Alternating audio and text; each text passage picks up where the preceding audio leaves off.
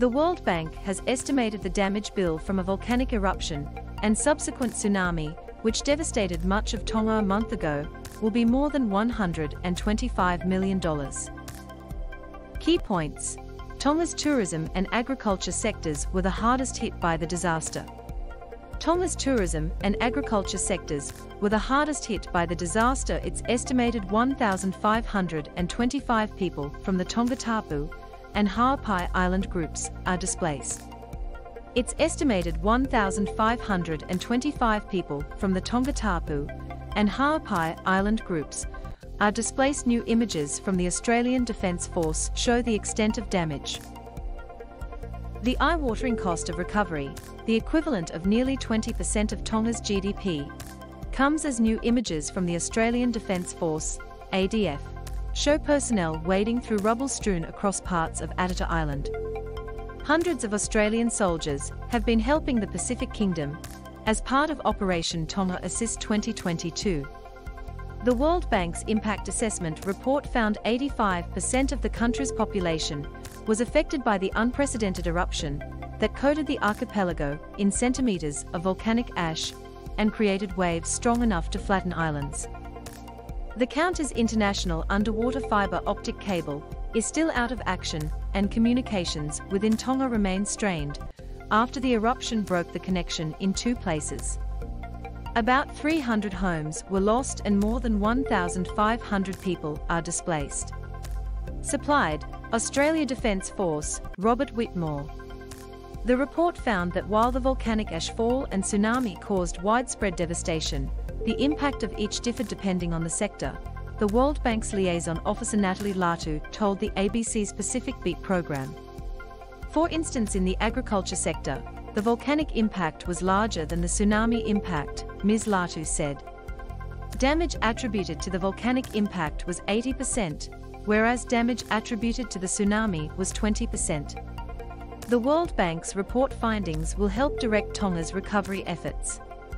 Supplied, Australia Defence Force, Jake Badia. 85% of agricultural households across the country were affected, with crops, livestock and fisheries bearing the brunt of the disaster. However, the tsunami brought the most damage to the tourism sector, destroying infrastructure such as resorts, public spaces, and natural assets like waterfronts. The World Bank's report said about 600 buildings across Tonga were damaged or destroyed by the tsunami. 300 of these buildings were homes, and it is estimated 1,525 people from the Tongatapu and Ha'apai Island groups have been displaced. Much of Atata Island was flattened by the tsunami. Supplied, Australia Defence Force, Christopher Sumlansky, the estimated damage bill does not include the significant losses associated with an economic loss of tourism, agriculture, and infrastructure activities as a result of disaster recovery. Ms. Latu said it was unclear how long the recovery would take. The Tongan community have been extremely resilient in clearing the debris, making their homes safe, trying to get back to life as normal as it can be, and as soon as possible, Ms. Latu said. An Australian Army Chinook helicopter delivers equipment to Atata Island.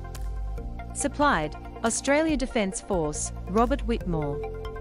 The World Bank's post-disaster damage assessment was conducted to help Tonga's government and its partners direct support for recovery, reconstruction and policy. Australia is one of several countries from across the region providing aid to Tonga. We have to date delivered 220 tonnes of relief supplies, They've principally come by air, ADF Lieutenant General Greg Bilton told the ABC. We now have actually started proper cleanup operations on a number of islands. Australian defence personnel are conducting cleanup operations in Tonga as part of Operation Tonga Assist. Supplied, Australia Defence Force, David Cox. Last week, China committed more than 100 trucks and excavators to help accelerate the recovery four years, China has provided assistance that meets the development needs of Pacific Island countries including Tonga in line with the principle of sincerity, real results, amity and good faith, China's Foreign Affairs spokesman Wang Wenbin said.